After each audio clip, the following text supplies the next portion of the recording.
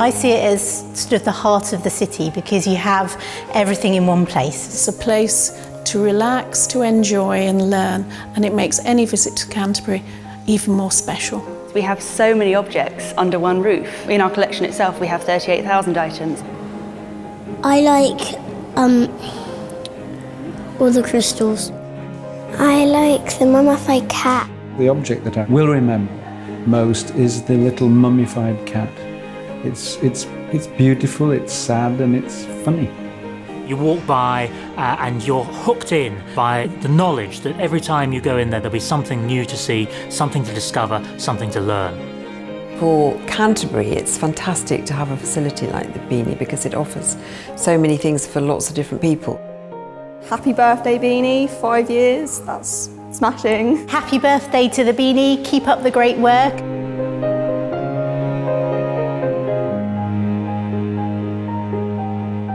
We love it, so we keep visiting. We come every single Friday and we all meet up, we all work together for many years, um, and we love it here. One of the things I love most about the Beaney is the collection of uh, Thomas Sidney Cooper's oil paintings. My son takes me into the room every time we come here, so it'll have to be Charlie the Bull. As I spend uh, quite a lot of time in the garden room, he's like an old friend. It's wonderful to work at the Beaney. I've been involved with the collections here since 2015 when I began as a volunteer and being brought on as a member of staff has been such a privilege. It's got tons of stuff for people to learn, it's got great activities for all families. I'm really lucky to be working in such a lovely place. When I first moved to Canterbury at the tender age of eight, um, I remember actually coming into the Beaney then, and it was a place of discovery. The initial funding commitment for the project was way back in 2007, and I think despite some of the, the charms of what was there, uh, it, it was a limited space, it was difficult in terms of accessibility. There was a really desperate need to upgrade and modernise the building. There were some really interesting um, and, and valuable items in store that never saw the light of day. The physical fabric of the building has been uh, you know, really carefully conserved. The Beaney is actually one of our top tourist attractions in the city. Two million visitors over the five years. 600,000 children and young people have been engaged in one form or another, whether through formal education or other activity at the museum. Oh, that's lovely. One of the audiences that we identified in the old Beaney that we really needed to develop was families and um, children and young people. So we've done a lot of work to develop really engaging activities and programmes for them. The great thing about the Beaney is it's for absolutely everybody. We're just launching an amazing Adopt an Object scheme through which every primary school within Canterbury District will be adopting their own special object from the museum collection. Those schools and those children will have real ownership over those objects and they'll be learning all about them.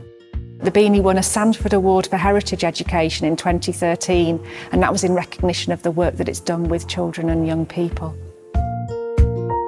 I'd like to think it looked like no exhibition they've ever seen before. Um, the first thing they saw when they came in was a, a, a life-size photograph of the back view of me looking round a wall. And you could see into a mirror image from one of my books. A lot of my books are very personal, so the exhibition managed to involve the books, but also managed them re to relate them to things that really happened to me. I came in quite often when it was on just to hear the chatter and the excitement and the laughing. Happy birthday, Beaney! Happy birthday, Beaney! I'd like to wish the Beaney a very happy fifth birthday and keep doing what you're doing. We've been learning about Tutankhamun and Knofik I'm William Hillier from, from Cartwright and Kelsey Primary School and I've brought a group of Year 3 pupils to the Beaney Museum and they're having a wonderful time. Happy birthday, Beaney!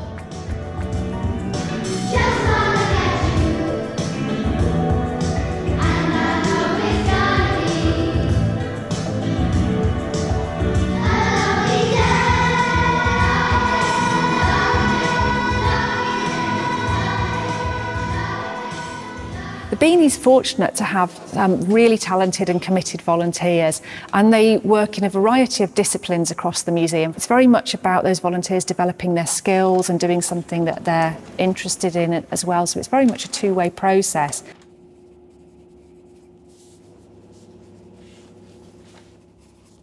I'd always known that I wanted to get into a museum career. Part of my love of it is the fact that I've been involved with it for so long. And it just has such a, an impact on my life, uh, a huge impact. If it wasn't for my volunteering here, I would never have got into the, my current role that I'm in at the moment in museums. What I like best about the Beaney is the way we use our collections to work with all sorts of different people at different stages in their lives and we can use them to really help when people are affected by difficult issues. The Beaney has become something of a, a, leader in terms of the health and well-being agenda, how you can engage people with uh, museums, collections, gallery spaces. The Beaney's got a fantastic community engagement programme. 4,331 people have engaged in that over the last few years. Paper Apothecary was part of um, a, a, national funded programme um, by the Happy Museum. We created a shop um, and people were coming in and they would get a prescription from the apothecary. But these prescriptions were a bit different because we were prescribing something cultural. The actual shop was open for 10 days and we had about 7,000 people come through the doors. We have a group that meets monthly in, in the Beaney um, for people with mild dementia or early onset dementia sometimes. And they come in with their carers and they're themed each time around a, a different, either an art theme or a history theme. And within that, we actually get objects out. He's um, been up in the loft and started doing little bits of painting again. So he wouldn't have done that otherwise. She gets some sort of stimulation which lasts for two or three days afterwards. There's quite a lot of evidence to show that long-term engagement with museum objects can help bring back memories, it can help with therapy around dementia. It's important for my ethos to make sure that we're in very high quality spaces and that we feel, feel welcome in those spaces and that absolutely happens here. So there's that real sense of ownership within the community and that makes the museum relevant to people because it is people's museum. And I think that, that that change in the relationship with the audience is really important. The Beaney is, is out of this world. The new gallery space was very important because it allowed the environmental and security controls which would enable the Arts Council collection to lend more freely than it might have done in the past. The special exhibitions programme drives new visitors to the, to the gallery quite often because that's the thing that's constantly getting refreshed. It's important for the Beaney to coincide with their fifth birthday because we've been there before. We, we took our Photographic Portrait Prize 2013 there in 2014. So obviously for us it's a, it's a real honour to be with them for their fifth anniversary. It's been a very inspiring experience. We've had a lot of people come through the doors of all ages and they've absolutely enjoyed it and I feel very honoured to be part of it. In 2015, we lent our Grayson Perry Vanity of Small Differences, and they were a huge success, over 20,000 visitors to the show. Beaney was delighted to lead the citywide commemoration of the sealing of Magna Carta in 2015, so it was the 800th anniversary, this important event. The nine key partners here in Canterbury uh, really sort of rolled up their sleeves and got involved in starting to plan a whole agenda of activities um, that at the end of the day delivered uh, over 88,000 visitors. Right at the centre of that was the Beaney with the two important exhibitions. I hope that we will be able to look at other parts of the collection to help uncover even more stories about Canterbury.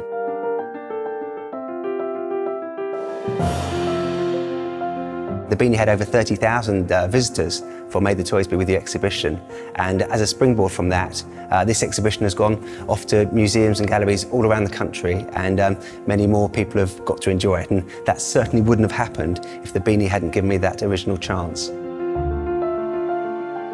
So we'd like to congratulate the team at the Beaney on uh, a very successful five years. We see this as a project that's um, absolutely delivered great value for money for National Lottery players.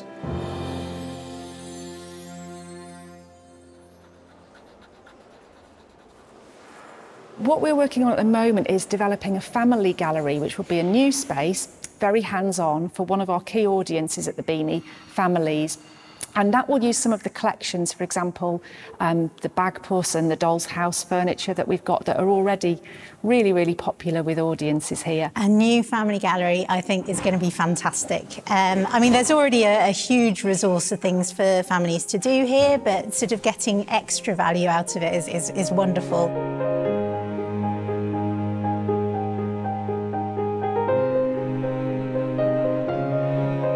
It's great to see that the Beaney has received NPO funding um, from the Arts Council, which will further allow it to embed this really innovative work around health and well-being. The Beaney will be the lead on health and well-being because of the work it's done over the last five years. Although it's a museum and a gallery that uh, centres a lot of what its work in the past, actually a lot of the work it's now doing is, is looking forward and building uh, new communities using therapy and being a therapeutic museum. Everybody who's contributed anything to the development of the museum and to all of the wonderful things that have happened here deserve to celebrate the birthday in style. That's not just the team here, it's all the people who use and participate in the museum because they're the people who make it what it is. Every time I go there, it's full of people. It's a buzzing, exciting, interesting place to spend time. It really makes our work very easy when we, we go to places like the Beaney where you know that you're going to get um, an amazing team to work with. The Beaney is one of the most important and significant cultural organisations uh, within East Kent. It's a fantastic resource for everybody across East Kent to love. Beaney's doing a fantastic job. It's a, it's a building full of life and creativity and seriousness and fun, and I think it's a real highlight of anybody's trip to Canterbury. I come in here regularly just for inspiration. Happy birthday, dear Beaneys. Happy birthday to you. Hip hip Happy birthday, Beaney. Beaney, happy birthday. And all the Beaney, I'd like to say thank you.